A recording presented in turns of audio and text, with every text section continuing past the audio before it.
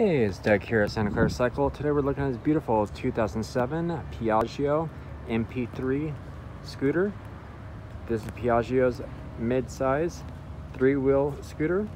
Has the 249cc single-cylinder fuel-injected engine, automatic transmission. This is a clean title, California bike. Only has 11,975 miles on the odometer.